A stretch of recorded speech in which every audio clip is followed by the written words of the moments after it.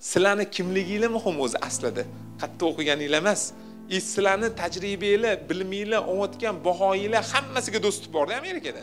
Mana mana shu narsalar eng glavniysi tushunyapsizlarmi lekin uni top garvardda o'qib ham ish qidirib yurganlar bor.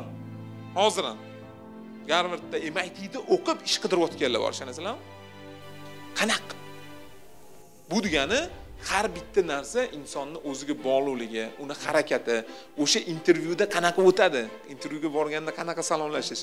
First impressionni o'zi zo'r beradi. Mana shundoq ko'rishishni o'zi zo'r beradi. Ko'rishing. Nega? Chunki first impressionni berishingiz kerak. Birinchi bo'lib. First impression is the best impression deydi. Rostdan aytyapman.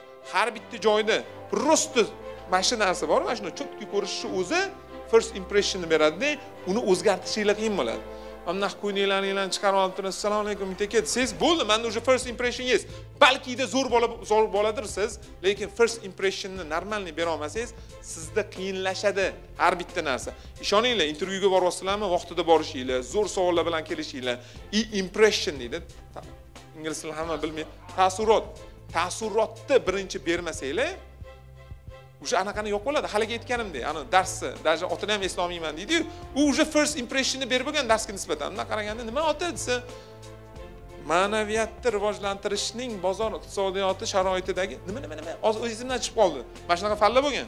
Man marketingni o'qiganimda uchib qo'yganda o'shani insta haydab yuborganmiz lekin shu o'zingiz kechirasiz rozi bo'lasiz endi domla.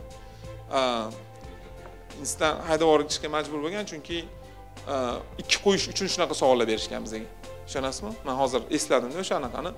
Voqeani manga pul olish uchun ikki qo'yish uchun o'qib kelgan taqdirimizda ham shunaqa savol bilan yiqitishgan man savolni eslolmagan man bu savolni so'ramaganman degan. Boshqa savolga o'ylab aylantiravergan keyin oxiri rektorga chiqib birinchilikdan bo'lib ustiligidan yozib to'g'ri tushuntirib olganmiz. Ikkita o'qituvchini haydashga sababchi bo'lganman